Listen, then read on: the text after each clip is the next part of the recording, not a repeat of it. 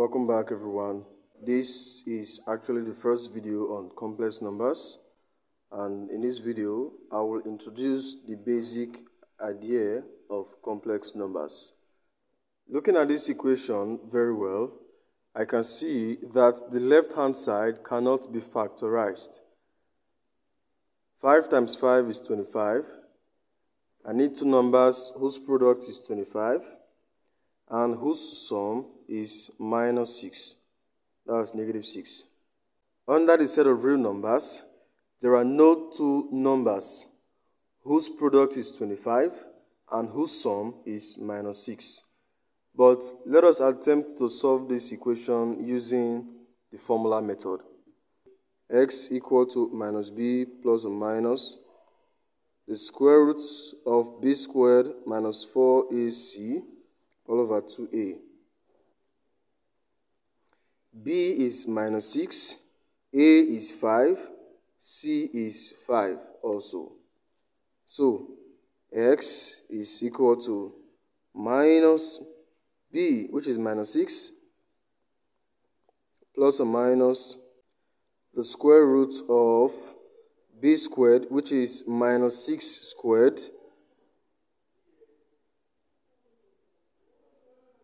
minus 4 times a, which is 5, times c, which is 5 also.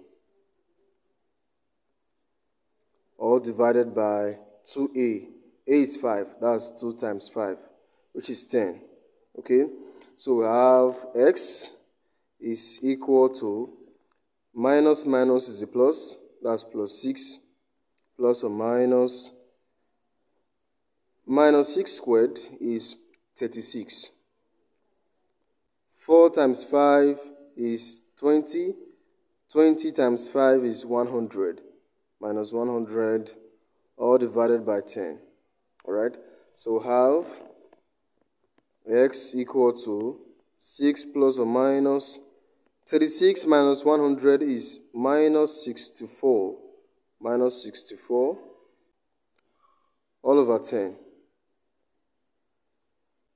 The next thing is to determine the square root of negative 64. Of course, under the set of real numbers, there is no value for the square root of minus 64. Okay, but I can write the square root of minus 64 as a product of the square root of minus 1 and the square root of 64. Okay, the square root of 64 is 8. That is to say, we have root of minus 64 is equal to the square root of minus 1 times 8. The problem now is, what is the square root of minus 1? Root minus 1 does not have any value under the set of real numbers.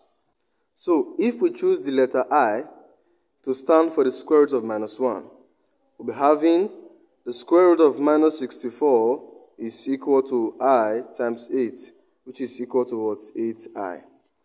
We can write this as x is equal to 6 plus or minus 8i all over 10. Going further, x is equal to 6 plus 8i over 10 or x is equal to 6 minus 8i over 10. So we can just say x is equal to, divide 6 by 10, that's 0 0.6, plus divide 8 by 10, that's 0 0.8. So we're having 0 0.8i, or the same thing here, but the plus will be a minus. 0 0.6 minus 0 0.8i. So in combination, we can say x is equal to 0 0.6 plus or minus 0.8i. This solution is a complex solution. It is a complex solution because the values of x here are complex values. They are complex numbers. So here I'm having 0.6 plus or minus 0.8i. Okay, the number has two parts 0.6, 0.8i. This part is called the real part and this other part is called the imaginary part. So a complex number is made up of a real number and an imaginary number. So whenever we attempt to take the square root of a negative number, we're definitely going to arrive at a complex value, alright? So this is what complex numbers are. We've seen now that the square root of minus 1 is equal to i. That is, i is equal to the square root of negative 1. So if I decide to square both sides, that means i squared will be equal to the square of the square root of negative 1 is negative 1 because the square will take away the square root, leaving us with the negative 1. So i squared is equal to minus 1. This must be noted. What will be the value of i cubed?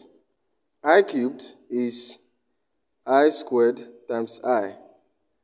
And i squared is minus 1. So that will be minus 1 times i, which is equal to minus i.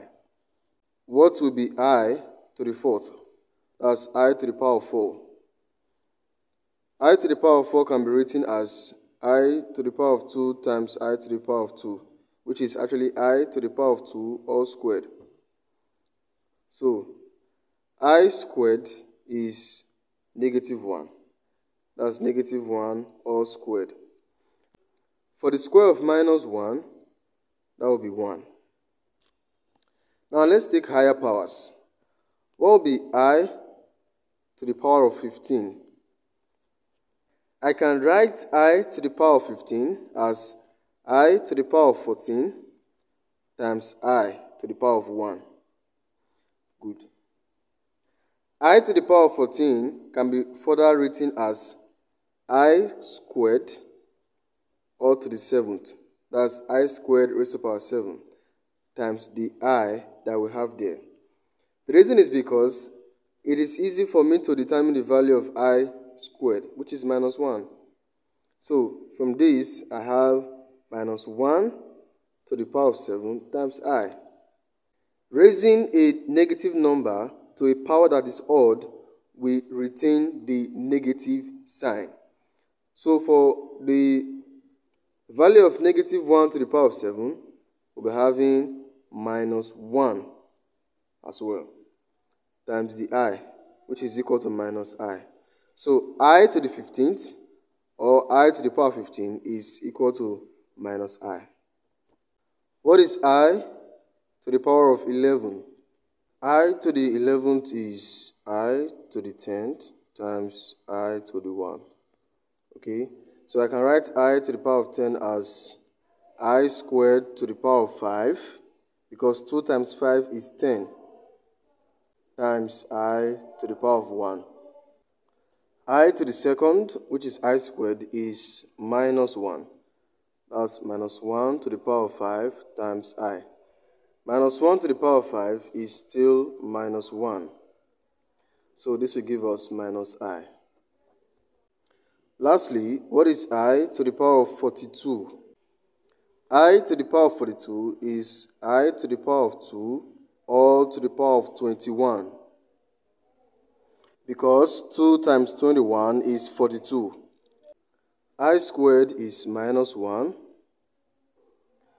And this will give us minus 1. Alright? This is how to determine powers of i. I hope you get it and I hope you enjoy the video. Keep watching. I'll see you in the next one.